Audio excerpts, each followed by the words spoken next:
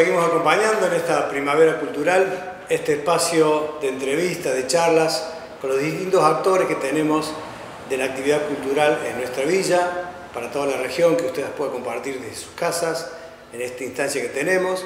En este caso nos está acompañando la Academia Credos del Sauce, que son sus directores, Beto Juncos y Mayra Oviedo. Gracias por estar chicos, bienvenidos, placer. Muchas gracias. Cuéntenme ustedes cuándo, cuándo comenzaron, cuánto tiempo tiene la, la academia, cómo están trabajando, cómo empezaron.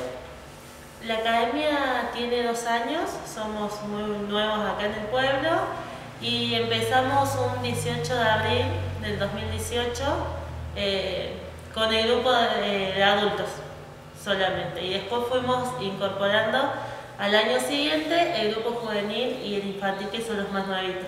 El infantil son los más nuevos y que tienen pocos meses. Bien. ¿Cuándo comenzaron a, a bailar? ¿Cómo, cómo, cómo, cómo comenzó este gusto ustedes por la danza, por el folclore argentino? Bueno, en mi caso eh, arranqué allá por los 10 años. Eh, ni hablar, uno empieza a bailar siempre en, en, la primaria, en el colegio.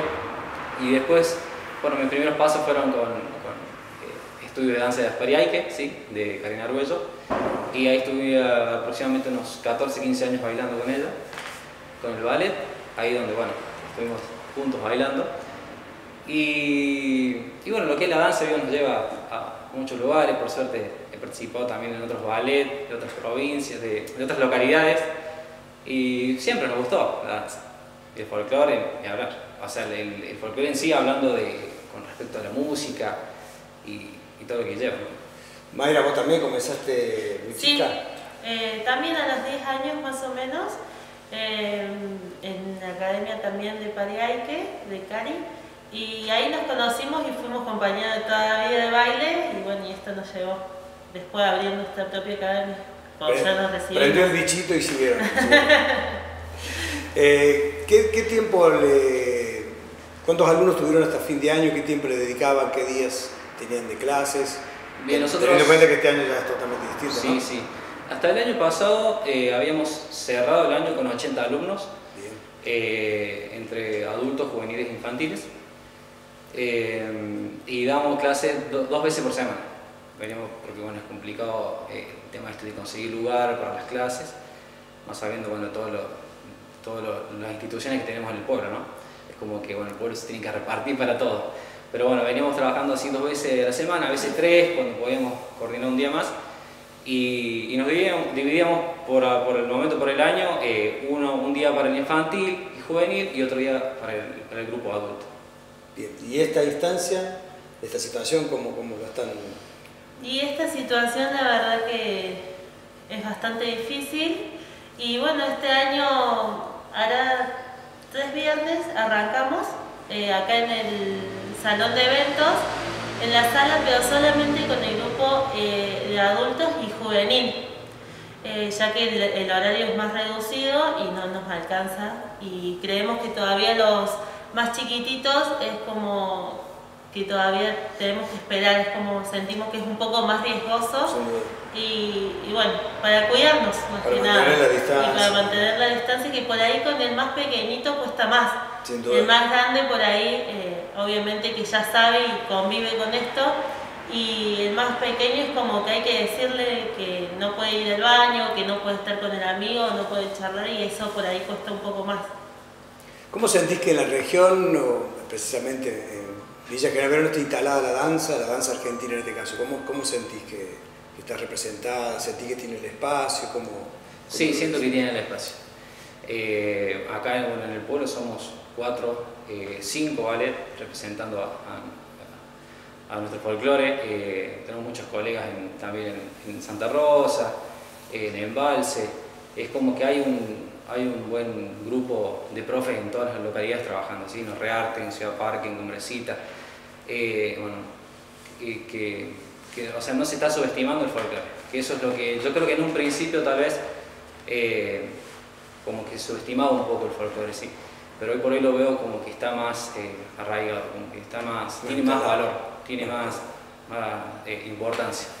Ustedes siguen capacitándose, o sea, haciendo cursos, bueno, no en esta instancia, ¿no? Pero, pero En esta instancia hemos estado haciendo un par, pero todo virtual, obviamente.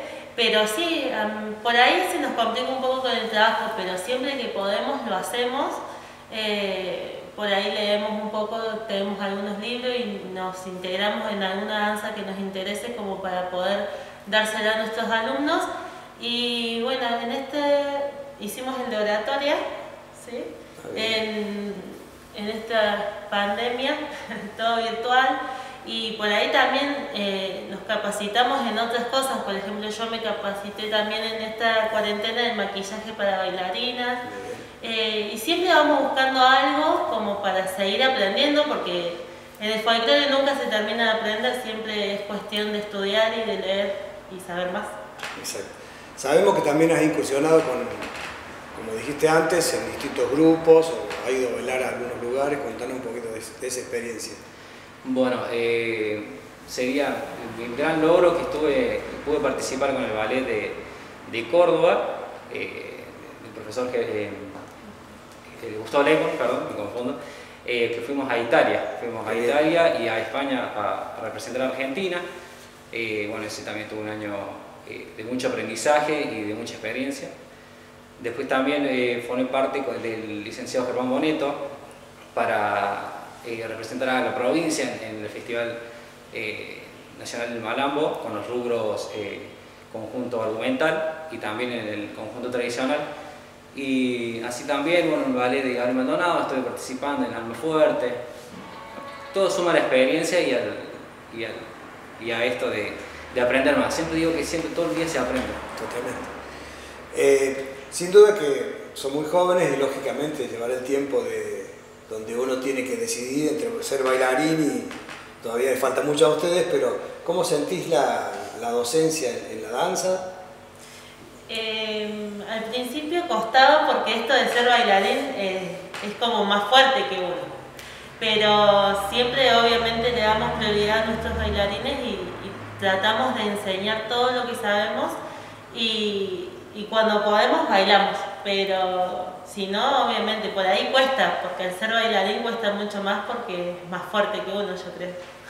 Cuando uno entra a mirar los errores de los demás, tiene que decir, bueno, ahora listo, dejo de bailar para preocuparme un poco por los demás. Este, eh, ¿También incursionas en la música? ¿Tocas algún instrumento? Sí, eh, bueno, me gusta mucho la guitarra, he aprendido un poco la guitarra y estamos, bueno, porque esto también es un instrumento más, una herramienta más que nos sirve para, para esto, para tocar los malambos, para, para cantar por ahí alguna danza, que, muchas veces por ahí agarramos una guitarra y, y cantamos y bailamos alguna danza también y, sirve, sirve también para trabajar el oído de los chicos, para trabajar tanto con el malambo y como en, la música, el, el tiempo.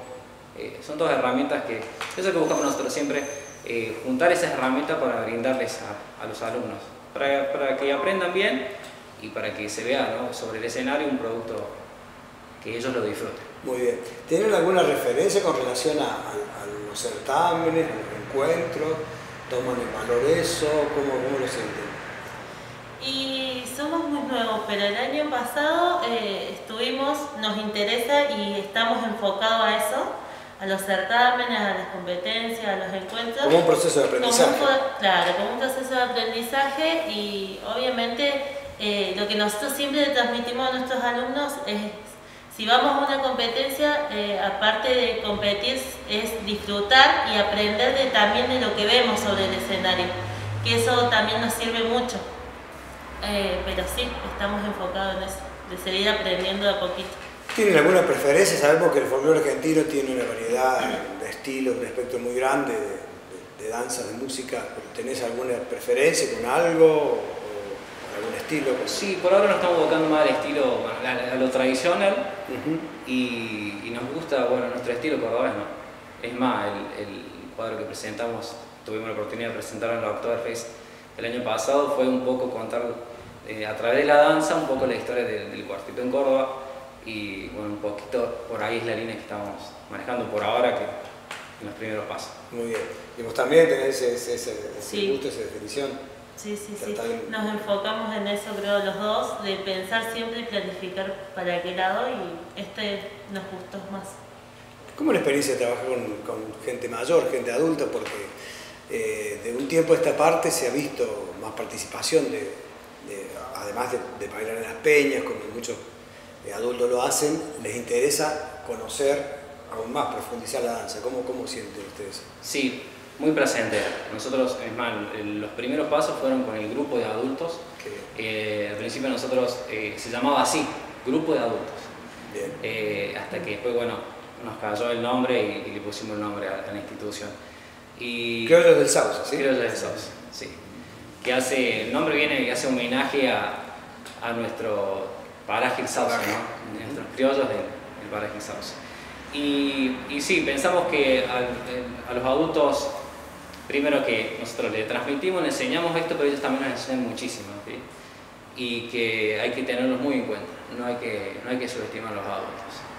Eh, y gracias a ellos, porque es la verdad gracias a ellos, y arrancamos nuestros primeros pasos y hoy por hoy tenemos una institución eh, ya ahí formándonos con, con varias categorías y yo creo que sí, que es muy importante, es muy buena experiencia. Muy linda experiencia. Muy linda y aparte eh, en un principio cuando nosotros arrancamos que cuando sos nuevo tenés muchas expectativas de saber qué es lo que va a pasar, cómo, eh, cómo la gente te va a tomar. Y la verdad que nosotros con el grupo de adultos que arrancamos eh, siempre nos brindaron un montón de cariño y, y, el apoyo que por ahí no sabíamos cómo iba a reaccionar la gente del pueblo.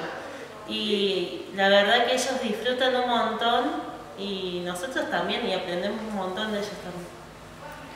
¿Tenés alguna referencia de, musical, de, de, temática folclorina o, de profesores, de bailarines o de, grupos musicales? ¿Tenés alguna preferencia? No, no, no, no, venimos ahí, eh, no nos vamos mucho eh, por ahí a la música tan nueva como la comercial, ¿sí? sino que nos gusta, como le decía, un poco más lo tradicional. Eh, referencia, una preferencia no tenemos, vamos viendo, eh, depende también si vamos queriendo apuntar algo, a armar un cuadro con respecto eh, a una idea, entonces tenemos que buscar, investigar la música y, ver las letras y todo que nos lleve a esa idea. Bien, ¿y cómo, cómo sienten ustedes que esta transición entre bailarín y profe lo va a llevar? Porque son muy jóvenes, me imagino que tienen un montón de proyectos que todavía no se pueden realizar, pero ¿cómo sienten esta, esta instancia de transición? Como que, que les va a costar despegarse del bailarín. Y creo que por momentos cuesta, pero también sabemos y estamos como trabajando a poquito hacia un camino que queremos ir, entonces eso también nos enfoca a saber que que bueno, eh, la prioridad son nuestros alumnos y todo lo que nosotros sabemos como bailarines poder brindárselo a ellos. Y bueno, capaz sí llega ese momento de que, de que tenemos que ponernos en lugar del profesor y, cuesta por ahí bailar, pero sí, vamos de poco yo creo. Bueno, estos precisamente son los, los valores jóvenes que tenemos, los representantes de nuestra cultura nacional, en este caso la danza argentina, y los representantes, los fieles representantes de, lo que es Villa General Verano, este crisol de raza que tiene nuestra localidad. Chicos, un placer, este, ya vamos a tener muchas oportunidades de, de charlar de esto, lo conocemos desde hace bastante tiempo, así que un placer que hayan venido y mucho éxito y ojalá que esto prontito pueda dar la posibilidad de que sigan trabajando y un futuro enorme les veo, mucho éxito para ustedes. ¿eh? Gracias. Muchas gracias. Aquí se acaba la jota, aquí se acaba el bailar, aquí se acaban los gustos del pasado carnaval. Sí, señor.